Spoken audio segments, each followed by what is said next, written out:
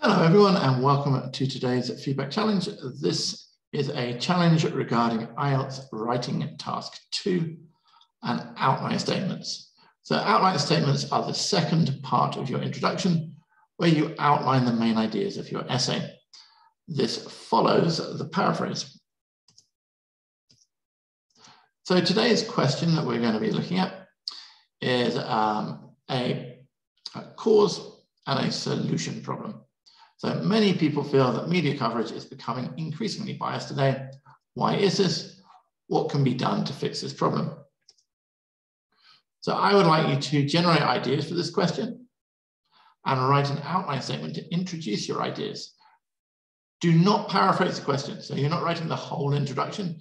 You are only writing the outline statement for your introduction. Remember, it's super important to follow instructions uh, anyone who doesn't follow instructions, I will not be commenting on their work. So please make sure that you follow the instructions. I will provide feedback on this challenge uh, next week at the same time.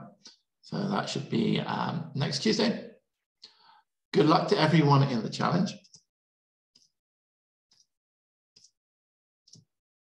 Uh, please remember, if you comment and would like some feedback, to hit the like button. Uh, and even if you're not uh, commenting, I would I would really appreciate you hit the like button and the subscribe, uh, subscribe button.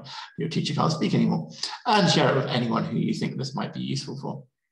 So, um, good luck on all your studies. Hope you all have a great week, and catch you all soon.